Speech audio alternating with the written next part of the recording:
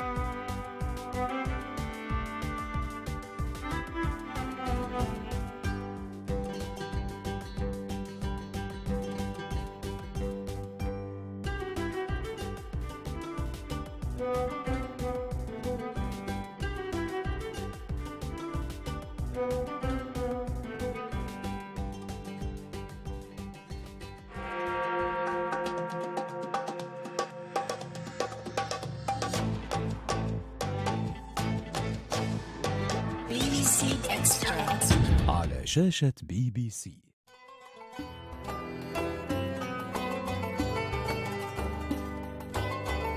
أهلا بكم إلى حلقة جديدة من المسلسل السوري حي المطار. تشاهدون يوم الثلاثاء المقبل وضمن الموسم الوثائقي حكايات مصرية. الفيلم الثاني أم غايب. والذي يحكي عن محنة امرأة تتوق إلى طفل وتعيش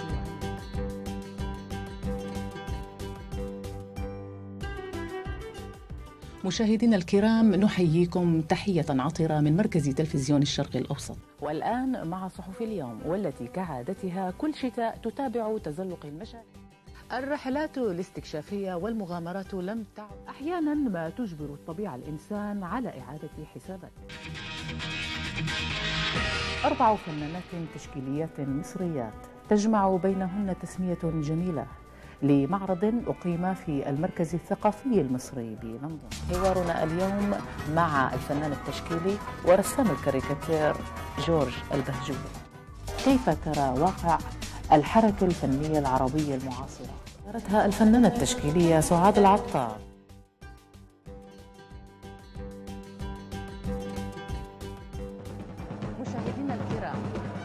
الليلة الرمضانية هو عنوان الحفل الساهر الذي تقيمه اللجنة الاجتماعية للنادي العربي في بريطانيا.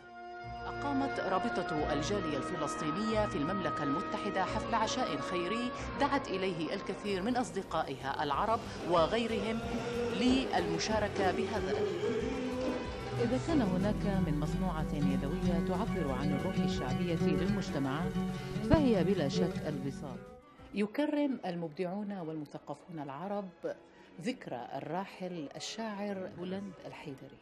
مطربة السوبرانو العربية سمية. حيث يقام معرض فن المخطوطات الشرقية. صباح الخير يا أطفال وأهلا ومرحبا بكم. وصلت للبرنامج رسائل كثيرة جميلة جدا ولطيفة سأستعرض بعضها عليكم. هل التماسيح أكلة؟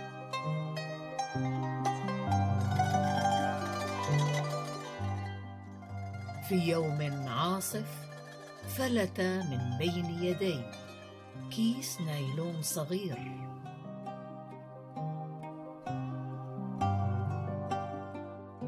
هرب مني وتعلق على خشبه في حديقتي.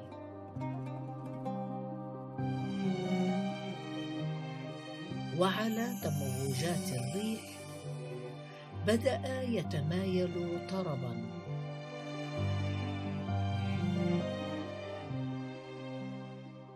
ويرقص حبا بالجمال وفرحا بالحياة.